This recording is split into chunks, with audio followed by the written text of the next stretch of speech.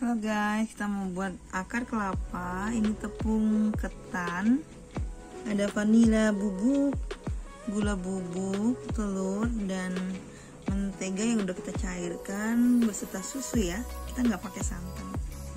Pertama kita masukkan gula, ini gula halus ya. Gula halus dan telur kita kocok. Kita akan masukkan vanili sedikit masukkan mentega. Yang udah dicairkan ya. Kemudian kita masukkan tepung ketan. Dengan adonan seperti ini kita akan tambahkan susu secukupnya.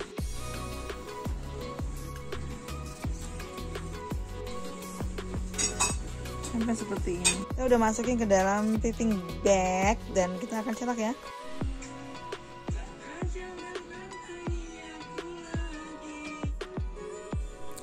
sekarang kita bentuk sesuka hati ya. Ini mau bentuk love atau mau bentuk keriting-keriting aja.